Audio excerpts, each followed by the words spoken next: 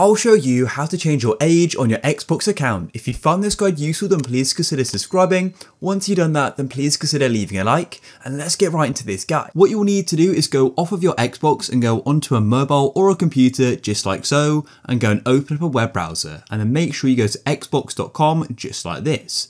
So what we'll first need to do to go and change our birthday or age on our Xbox account is to go to the top right and go and tap on the profile button. This is going to go and allow us to go and sign in. So what you'll need to do is go and enter your email. After you've signed in, you'll then go and see this loading screen here. And what you'll need to do is wait and you'll be taken back to the Xbox website. But now that you're signed in, in the top right, you should go and have some sort of profile icon. Go and tap there. And once you tap on it, you then need to go and tap on My Microsoft account then you're going to be redirected to the Microsoft website because basically your Xbox account is a Microsoft account, if that makes sense. So you edit your info on Microsoft.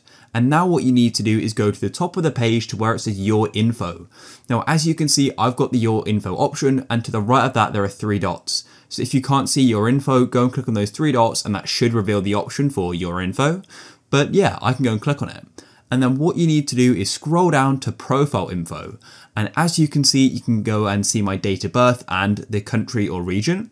But what you want to do is go to the top right of the profile info section and go and tap on edit profile info on the right hand side. So click edit profile info. And I'm pretty sure, and sometimes you may be asked to do some sort of verification. And so you'll need to get an e a code emailed to your email or your phone number and then enter it in. But I haven't this time. But yeah, now what you can do is go and edit your date of birth. So maybe you entered it in incorrectly when you first set up your account. And so you want to make sure it's correct now, or there may be another reason why it was incorrect. I'm not sure. But yeah, go and change it um, that is already correct for me. And then all you need to do is go and tap on save at the bottom once you made a change. So I could click there, then tap on save. And that's it. That is how you can go and change your birthday on your Xbox account.